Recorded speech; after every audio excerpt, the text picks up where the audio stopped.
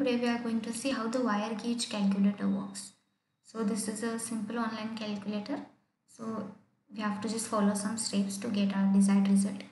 So here you can see first of all you have to select the gauge.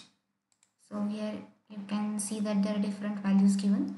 So you have to just select any one of them or alternatively if you wish to enter it manually you can enter it manually if the value is not in the list given here you can enter the value manually. So next we have to select the wire. So here you can see there are different types of wire given. So for an example here I can select nichrome wire. So once you select the wire type the resistivity below that is automatically entered. So after entering all the values so just click on the calculate button and you can see that number of results are displayed below that.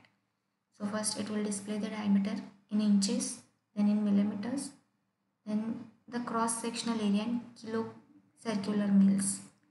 Then the same thing in the square inches in square millimeters. Then resistance is also displayed here. So these results are displayed once you click on the calculate button. So if you wish to carry out further calculations for some other wire type just click on the reset button all the values will be reset and you can enter the new values. So in this way this simple online calculator works. Thank you so much for watching this video.